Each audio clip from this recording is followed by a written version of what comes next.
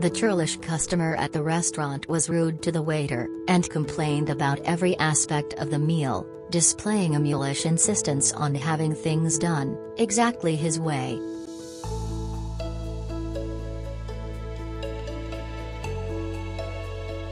Origin of churlish is the Old English word ceorlisc, which referred to a freeman of the lowest class, a commoner or peasant. Over time, it evolved to encompass negative traits associated with such individuals. Origin of mulish is the word mule, which is a hybrid offspring of a male donkey and a female horse. Mules are known for their stubbornness and resistance to following commands. The meaning of churlish is churlish is an adjective that describes someone who is rude, surly, or ill mannered. The meaning of mulish is mulish is an adjective used to describe someone who is stubborn, obstinate, or unyielding.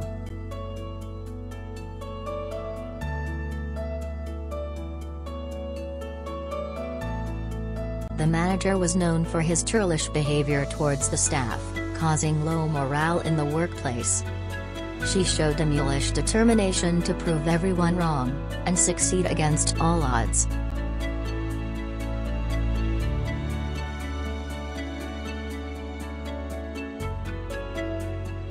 Synonyms of churlish are rude, discourteous, boorish, surly, grumpy. Synonyms of mulish are obstinate, headstrong, resolute, unyielding, pig-headed.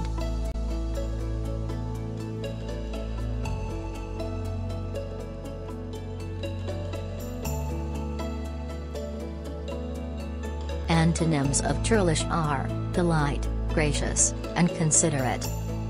Antonyms of mulish are adaptable, amenable, and compliant.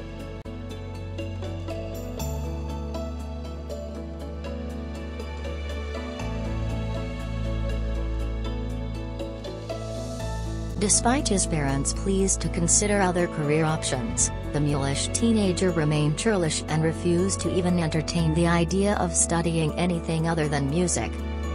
Thank you for watching.